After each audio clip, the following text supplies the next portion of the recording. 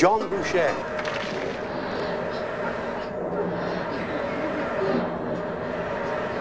Right, now this time hang on to it tight, okay? Keep that closed. That's right, good. I'll see if I can find a piece of string, because you need a little tiny piece of string, you see, to tie on the end of it.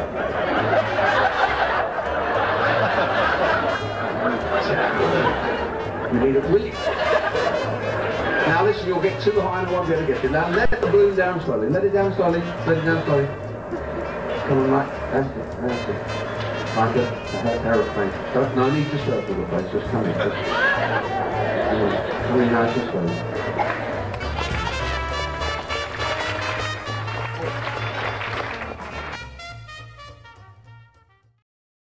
Hello again.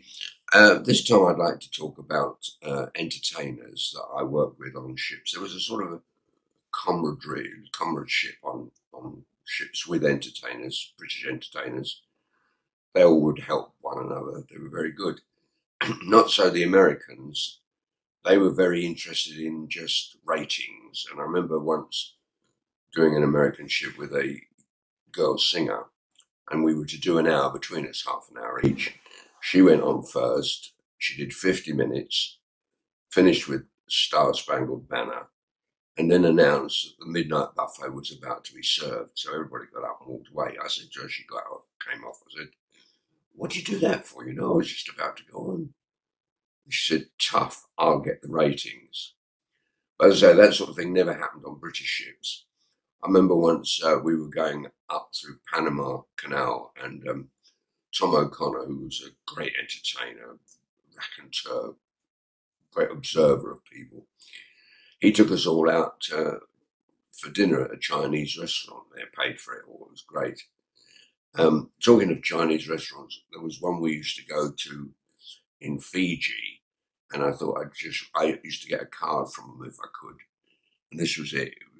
I don't know whether you can see what it's called there, but it was in Cummings Street in Fiji, which I thought was rather amusing. Um, also, we worked with um, some great cruise directors, one of which was a chap called Roger Lee. Um, and I remember one Christmas, we the entertainers always worked hard at Christmas because we were working usually most of the Christmas day, afternoons, evenings, that sort of thing. And he said, Don't bother to go to dinner and rush it. He said, uh, I'll arrange it for later. So at midnight, when we'd all finished, he took us all down to the restaurant and had arranged with the chef and his crew to serve us Christmas dinner. And Roger started to carve the turkey. A great cruise director, bloody awful at uh, doing tur- carving turkey, couldn't do it save his life. So he sent for the chef and he came and did it. But we had a lovely meal and it was uh, very nice. Um, another occasion that uh, Roger um, handled very well was Norman Wisdom came on to do a show and, and he, he came on with his uh, his sidekick um, um, Tony Fane and the act wasn't going particularly well. So Roger said, "Look, I don't think we'll we'll use you as a variety act on these ships." He said, "I will interview you. You can tell me your life story." Well, that was great because everybody wanted to know about that, and he went extremely well. Got standing ovations every time he did it, and forever after, when he cruised, that is how he went on. Didn't bother with the act, just told his life story. Well, we had our daughter Kate with us at the time. She was, well, I'd say six, maybe six or seven, and she had seen his act and thought it was very funny. And he was sitting having a coffee, and um, she said to him, "Oh, Mister Wisdom, I thought you were very funny, much funnier than my dad." Well, that really tickled Norman, and uh, he he wrote to her very often after that, and he signed his book for her. He used to say, you know, we must uh, go out and have some fish and chips somewhere. We never actually did get round to that, but we'd go and see his show. He'd invite us to the shows if he was working close, and and that again was down to Nor- to uh, Roger Lee, and um, one of these days I might even forgive my daughter for saying that, but I thought it was funny at the time. I'll talk to you again soon.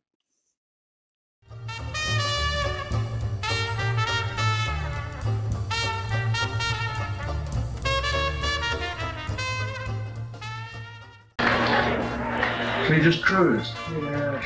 Mind you, I was in too many foreign places during the war, you know, but yes. The war, yes. Yes, I fought with Montgomery, yes. General Eisenhower, yes. Fought with Patton, yes. Didn't seem to get on with anybody in those days.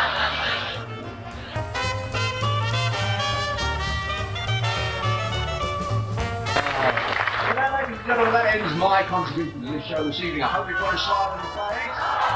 If you did, leave it there and make the most of the next 24 hours they'll never come again. Good night, see you.